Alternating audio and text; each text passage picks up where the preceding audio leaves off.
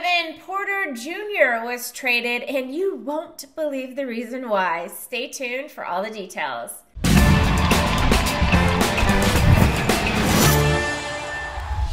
Hey, what's up, y'all? It's your girl Britt. Make sure you follow me on all social media at I am Britt Johnson. And don't forget to like this video, click subscribe, and join our notification gang for updates on all of your favorite athletes.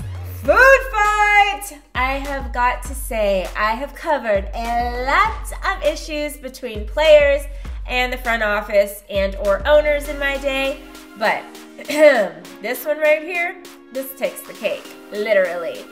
Kevin Porter Jr. is only in his second year in the league after being drafted 30th overall by the Bucks in 2019, where he was then immediately traded to the Cavs. On February 25th of 2020, just before the NBA season was halted due to COVID, Kevin Porter Jr. had a career high 18 points in a come from behind win in overtime against the Miami Heat, who won the Eastern Conference Finals. His career with the Cavs was looking promising until November 15th, where he was charged following a single car accident where a firearm was found.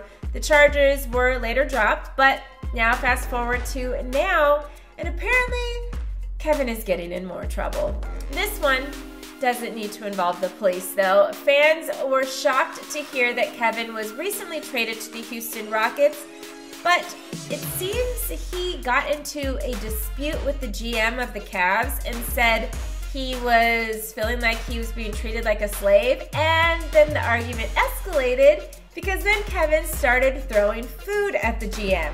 Yeah, food. Like, I don't know if it was a cake, but it was some kind of food which is bizarre, and I'm curious to know what brought this on and if this is actually true. Right now, this is all rumor based. So, do you guys think this is how it all went down? Let me know in the comments below. Don't forget to like this video, click subscribe, and shop the Fumble store for the latest game day gear. I'm your host, Britt Johnson for The Fumble, and I'll see you guys soon.